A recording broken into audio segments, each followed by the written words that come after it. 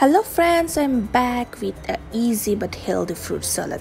Easy because you don't need very much time to make it. So let's start. Here for the fruit salad, I took the grapes, bananas, watermelon, apples, half of lemon and some roasted cashew nuts and pinch of salt but you can take salt as per taste. And then take a bowl and put all the fruits in that. Here i took just four fruits. You can take many kinds of fruits whatever you want as like mango papaya anything you can take.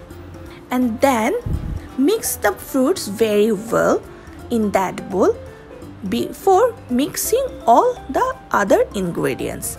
After that you took the lemon. Here i took the half of a small lemon. You can took more than that.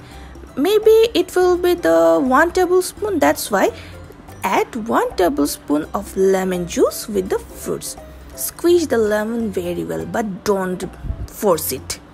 And then i add 15 to 17 cashew nuts roasted cashew nuts with my salad.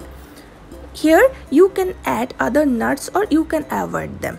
I love that's why I add. And then add pinch of salt but not so much. You also can add the black pepper if you like and then mix it very well.